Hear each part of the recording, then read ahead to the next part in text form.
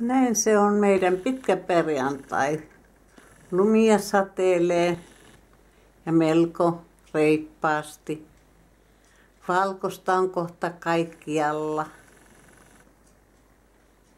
Harmaata ainakin, mutta pitkähän se perjantai on.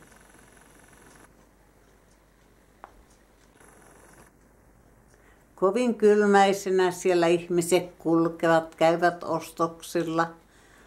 Vaikka on pitkä perjantai, kaupat ovat auki.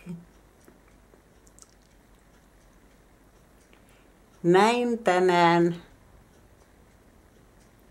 pitkänä perjantaina 2017. Mukaviin mietteisiin, Rita.